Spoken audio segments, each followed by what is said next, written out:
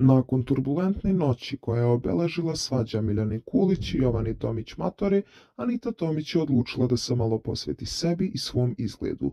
Učesnici elite danas su imali priliku za remont u salonu, koji se inače otvara nedeljom na imanju u Šimanovcima, a ukućanke ne mogu da sakriju sreću zbog toga, pa čak ne odu na spavanje kako bi dočekale svoj red.